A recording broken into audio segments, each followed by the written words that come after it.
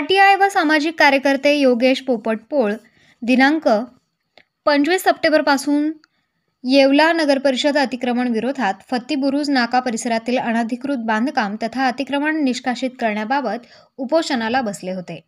सत्याग्रह आंदोलन सुरू असताना दिनांक एक ऑक्टोबर रोजी प्राणघातक हल्ला देखील झाला. त्याबाबत येवला शहर पोलिसा पोलिसात त्याचवर तीनशे सव्वीस प्रमाणे गुन्हा दाखल केला. चार नोव्हेंबर रोजी कोर्टात तारीख असल्याने तूर्त चालू उपोषण आंदोलन एकेचाळीसव्या दिवशी स्थगित करत असल्याचे पत्र पोलीस निरीक्षक येवला शहर पोलीस स्टेशन यांना देण्यात आले.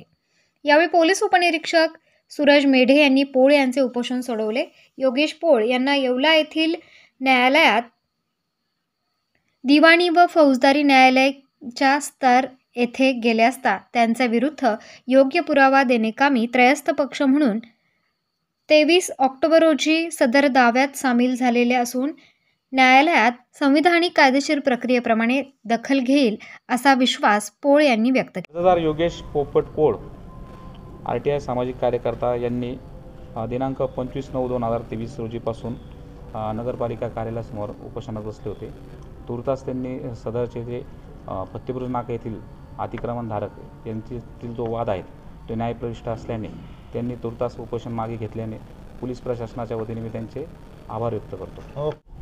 मी नगरपालिके प्रवेशद्वार समोर उपोषण सुरू असताना सुरेश लालराम खैरमोडे व कुसुमबाई रामदास सोनवणे हे येवला येथील न्यायालयात गेले असतात. त्यांच्याविरुद्ध योग्य पुरावा देणेकामी त्रस्त पक्ष म्हणून मी दिनांक तेवीस दहा दोन हजार रोजी सदर दाव्यात सामील झालेलो असून माननीय न्यायालय संवैधानिक कायदेशीर प्रक्रियाप्रमाणे दखल घेईल असा विश्वास असल्याने व आज दिनांक चार अकरा दोन हजार तेवीस रोजी कोर्टात तारीख असल्याने मी सदरचे उपोषण तुर्तास माझे उपोषण एक्केचाळीसव्या दिवशी स्थगित करत आहे.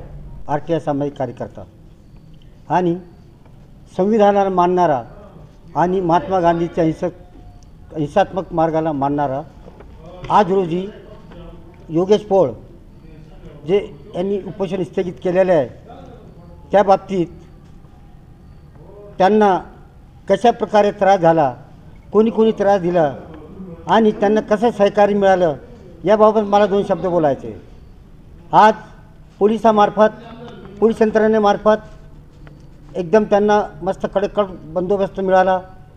याला कारण का ज्यावेळेस ते उपोषणात बसले त्यावेळेला त्यांच्यावर प्राणघातक हमला झाला. प्राणघातक हमल्याच्या वेळेला त्यांनी मला फोन केला. त्यावेळेला मी येण्याच्या अगोदरच सांगळे हवालदार या ठिकाणी उपस्थित होते. त्यांनीसुद्धा काळजी वाहिली व आम्ही दोघांनी मिळून ॲम्ब्युलन्स आणली. ॲम्ब्युलन्स आणल्यानंतर त्यांना दवाखान्यात ॲडमिट केलं. ॲडमिट केल्यानंतर ते आठवडे दिवस सुधारले आणि त्यांना काही जो लोकांनी सल्ला दिला का तुम्ही उपोषण स्थगित करा. परंतु हा महात्मा गांधींचा अहिंसात्मक मार्ग आणि डॉक्टर बाबासाहेब आंबेडकर संविधानक मार्ग यापासून लोकांनी धडा घ्यावा व त्याप्रमाणे चालून न्याय मिळवून घ्यावा यासाठी योगेश पोळनी पुन्हा उपोषण सुरू केले.